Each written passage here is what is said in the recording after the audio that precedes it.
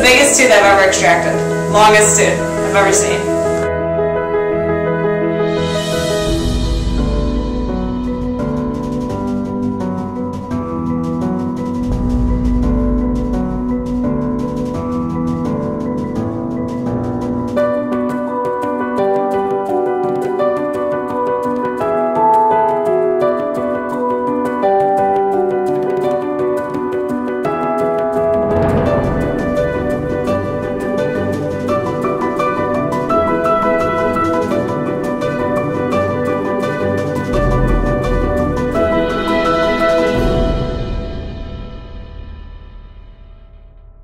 The longest Every- ever uh, at every- Northwestern everything, University. Everything about me is grounded and long to the. Yeah, even your head.